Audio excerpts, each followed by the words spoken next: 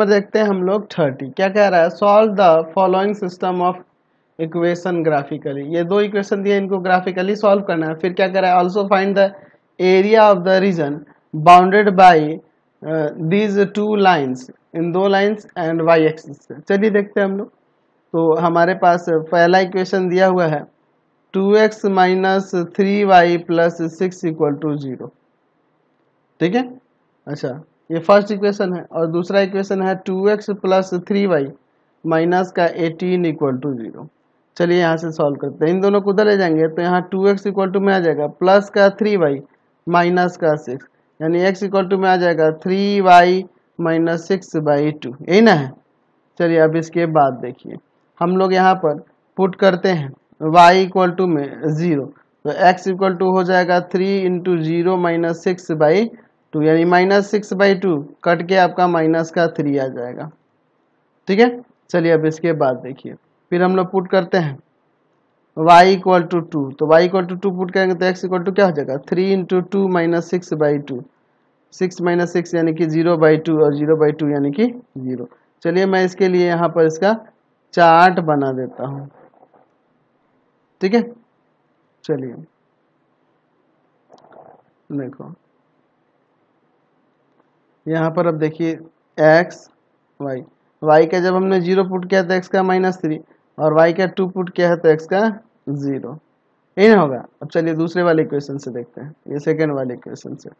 हम लोग यहाँ से लिख सकते हैं कि टू एक्स इक्वल टू में प्लस का एटीन माइनस का थ्री वाई यानी एक्स इक्वल टू में eighteen minus three y by में टू अब चलिए यहाँ पुट करते हैं। पुट वाई इक्वल टू में टू तो एक्स इक्वल टू हो जाएगा आपका eighteen minus three into three into two by में टू। तो ये देखो ना, टू थ्री जा सिक्स। है ना, टू थ्री जा सिक्स। एटीन में से सिक्स को सब्ट्रैक्ट करेंगे तो आपका टूएल्व और बाई में टू। ये सिक्स आ गया। ठीक है? पुट करते हैं। y इक्वल टू में फोर तो x इक्वल टू में हो जाएगा एटीन माइनस टू इंटू में फोर। सॉरी थ्री इंटू में फोर और बाई में टू। तो क्या हो जाएगा? फोर थ्री जा ट्वेल्व एटीन में से ट्वेल्व जाएगा। सिक्स सिक्स बाई टू करके यहाँ पे थ्री आ जाएगा। चलिए, अब इसके लिए भी मैं यहाँ पर एक चार्ट बना लेता हूँ। ठीक है? चलिए। अब ध्यान से देखना। एक्स वाई जब हमने y का टू पुट किया है तो x का वैल्यू सिक्स मिला है। जब हमने y का फोर पुट किया है तो x का वैल्यू थ्री मिला है। Y का हमने फोर पुट किया है तो x का वैल्यू क्या मिला है? थ्री मिला है। चलिए, अब इसके बाद हम लोग इसका ग्राफ यहाँ बना पर। ये मैं यहाँ एक्स एक्सेस ले लेता हूँ और इस पर मैं यहाँ वाई एक्सेस ले लेता हूँ। ठीक है, ध्यान से देखो।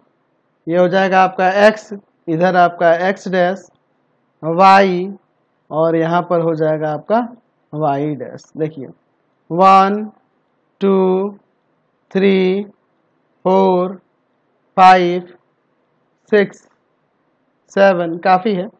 One, two, three, four, five, six, minus one, minus two, minus three, minus four, minus five, minus six, यहाँ पे देखो minus one, minus two, minus three, minus four, काफ़ी है।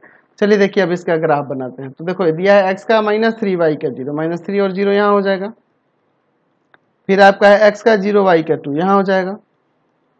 तो इन दोनों से होकर जाने वाले लाइन की बात करेंगे तो ये कुछ इस तरह से जाएगा ना। चलिए, ऐसे ही जाएगा। चलो। इसका हम लोग यहाँ पर इक्वेशन लिख देते हैं। तो इसका इक्वेशन क्या है? तो इस लाइन का इक्वेशन हमारे पास दिया हुआ था two x minus three y plus six equal to zero अच्छा दूसरा वाला देखते हैं। यहाँ एक्स का सिक्स वाई का टू एक्स का सिक्स वाई का टू फिर एक्स का थ्री वाई का फोर ठीक है? और इन दोनों से होकर जाने वाले लाइन की बात करेंगे तो कुछ इस तरह से जाएगा। ऐसे ही ना जाएगा जी। बिल्कुल ऐसे ही जाएगा। चलिए, और इसका इक्वेशन क्या है? तो इसका था two x plus three y minus का एटीन इक्वल टू में ज़ीरो यही ना था? चलिए तो यहाँ पे इंटरसेक्ट कर रहा है तो इसका सॉल्यूशन क्या हो जाएगा? तो यहाँ से हो जाएगा आपका एक्स इक्वल टू में थ्री वाई इक्वल टू में फोर और यहाँ आपके क्वेश्चन में यह भी कह रहा है कि इन दोनों लाइन और वाई एक्सिस से बाउंडेड जो ट्रायंगल बन रहा है, उसका एरिया फाइंड करना तो यही ना बन रहा है, ये दोनों लाइन और इस वाई एक्सिस से बाउंडेड ये वाला रीजन है। चलिए, इसका नाम हम लोग ए बी सी देते हैं। और यहाँ से मैं इस पर एक परपेंडिकुलर गिरा देता हूँ इस तरह से। ठीक है? तो अब देखो क्या हो जाएगा यहाँ डी देते हैं। तो लिख सकते हैं area of triangle A B C equal to में। क्या होगा? One by two base into height यानी वन बाई टू आपका बी सी इंटू में ए डी हो जाएगा। तो बेस देखो कितना है? One by two B C यहाँ कितना है? One two three four unit है। और ए डी आपका कितना है? थ्री यूनिट है। ठीक है? कोई दिक्कत नहीं है। यहाँ से आप इसे काट देंगे। टू थ्री जा सिक्स स्क्वायर यूनिट हो जाएगा।